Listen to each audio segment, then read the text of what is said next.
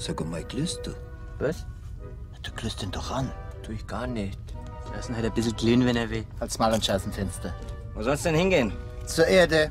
City of Government. Ups, da gelten aber andere Tarife. Warum? Naja, im Moment ist es leichter, bei einem Erdbebenstärke 12 jemand die Augen zu lasern, als heil dort anzukommen. Die ballern da mit schwerem Geschütz, dagegen fühlt sich ein Blitz an wie eine sanfte Akupunktur. Ach ja, die Fallschirme und die Schwimmwesten, die sind irgendwo da unterm Sitz. Müssen wir lieber wieder aussteigen. Bitte macht sich doch bloß wichtig.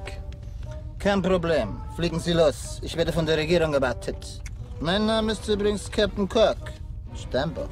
Und ich bin Hermes der Götterbote. Und mit wem haben wir das Vergnügen? Mein Name ist Rock. Kuschel oder Hardrock?